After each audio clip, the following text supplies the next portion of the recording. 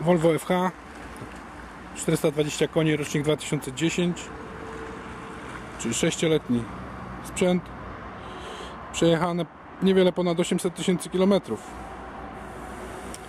Kabina XL czyli taka raczej na długie dystanse.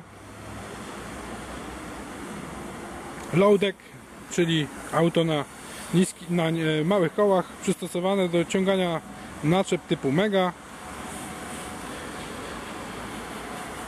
Klimatyzacja postojowa zamiast szyberdachu u góry. Owiewka przeciwsłoneczna. Tu z przodu mamy takie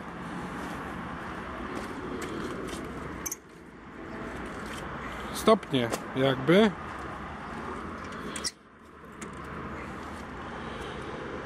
podesty po których można wyjść przykładowo wyczyścić sobie szybę albo wymienić pióra wycieraczek. Takie rozwiązanie spotykane również w innych ciężarówkach. Czasem jest to sam stopień czasem mamy taki podejście jak tutaj. Atrapa przednia którą się otwiera tutaj pociągając takie dźwignie A, tam to się nie otwarła.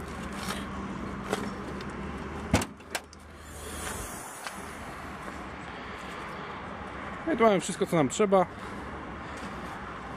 Miarka oleju wraz z dolewką.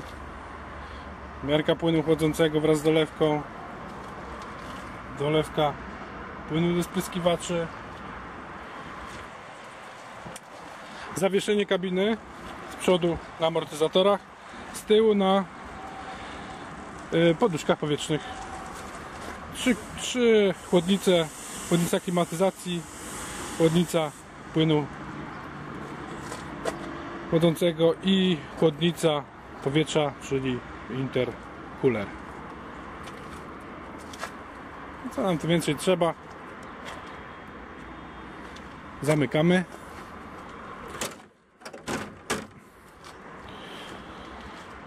Przejdziemy się tutaj wokoło.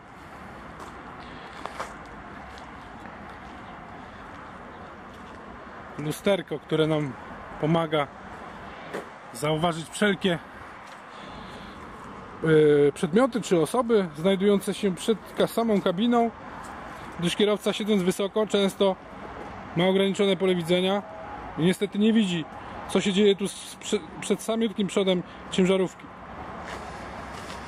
Yy, AdBlue, ponieważ jest to Euro 5 zbiornik AdBlue, dwa zbiorniki paliwa.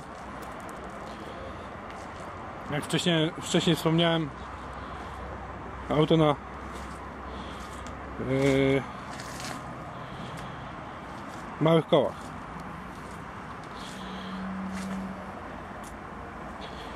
Wyłącznik prądu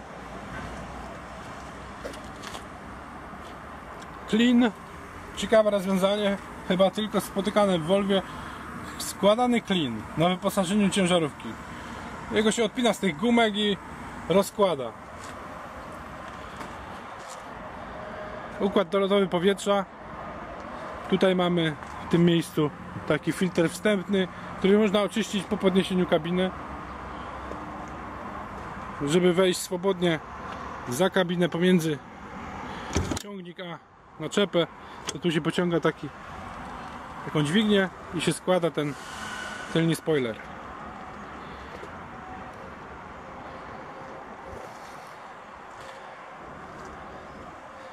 Co tu więcej, tak jak wspomniałem wcześniej, z tyłu poduszki powietrzne kabiny, reflektor roboczy, no gaśnice, w zależności czy ktoś tam wozi materiały niebezpieczne czy nie.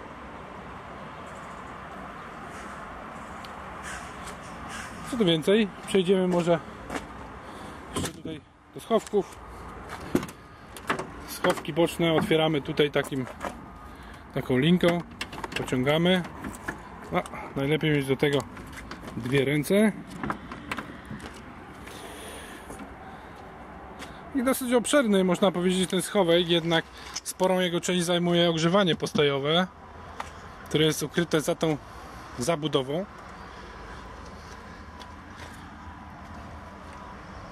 Podnośnik. Z drugiej strony mamy identyczny schowek, troszeczkę w nim może jest więcej miejsca, bo właśnie nie ma tego tej budki można powiedzieć. Także troszeczkę więcej miejsca. 3 stopnie. Także łatwo, szybko można wejść do środka.